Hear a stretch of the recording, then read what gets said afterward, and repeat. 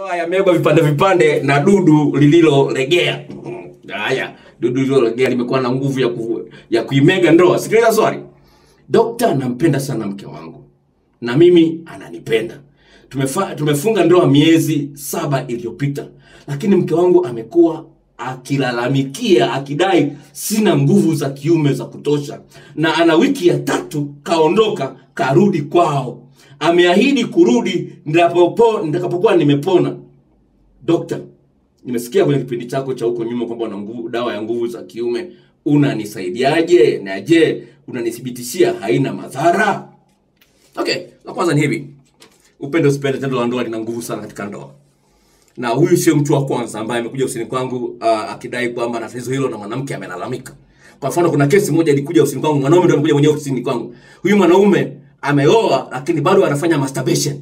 Mke wake kamgundua, akamwambia usipoacha hii ndoa inakufa. Kwa hiyo unaweza kuona jinsi gani ilivyokuwa hatari, sawa?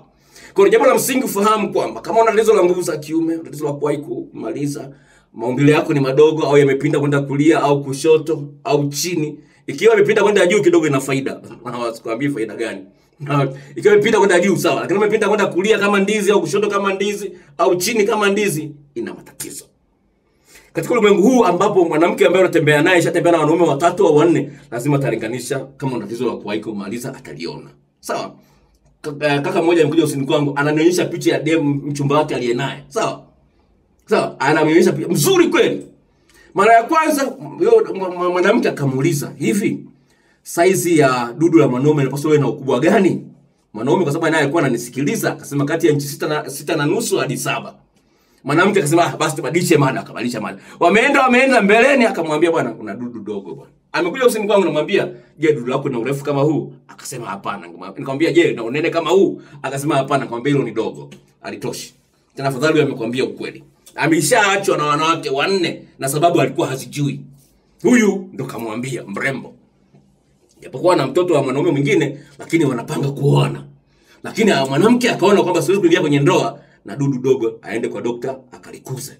Sawa, nayo dawa ya kuweza kukuza urefu ambao uzidi inchi tatu na unene inchi moja, ongezeka bora la kudumu bila madhara. Sawa, lakini cha msingi ambacho kukuzungumza hapa ni hivi, mwanamke anakulinganisha na wanaume wengine, na akiona kwamba uh, uwezo wako ni mdogo katika tendo la ndoa, la kwanza atakuvumilia, alafu baadaye anaanza kukunyima anatafuta visingizio vya kusema bwana, tusifanye tendo la ndoa.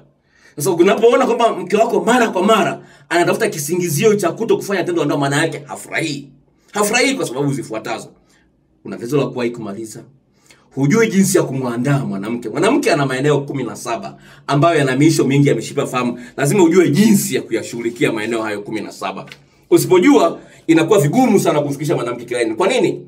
Mwanamke inapaswa umtoe kwenye pointi sifuri mpaka pointi ishirini ndio anakuwa amefika kileleni. Sawa. Sasa unapokuwa unamwandaa katika yale maeneo kumi na saba ukatumia maeneo kumi au kumi na moja au tisa unamtoa kwenye pointi sifuri mpaka pointi kumi na moja au kumi na tatu au kumi na nne kwa hiyo unachukua muda mfupi kufikisha mwanamke kileleni sawa sasa bahati mbaya ukawa na dudu ambalo halina nguvu unapokuwa umemuingilia huyu mwanamke unakuwa husugui sawasawa kwenye kuta za viungo vya uzazi vya mwanamke kwenye, kwenye ule ukuta kuna miisho mingi ya mishipa ya fahamu.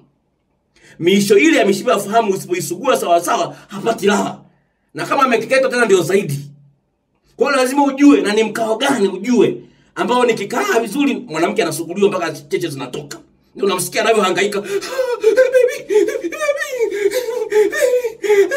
unaniua kama hivyo kwa lazima unapata ushahidi kama hapa ngoma anaicheza sawa sawa na wimbo anaimba mwanamke. Wewe unapiga ngoma yeye anaimba. Haleluya.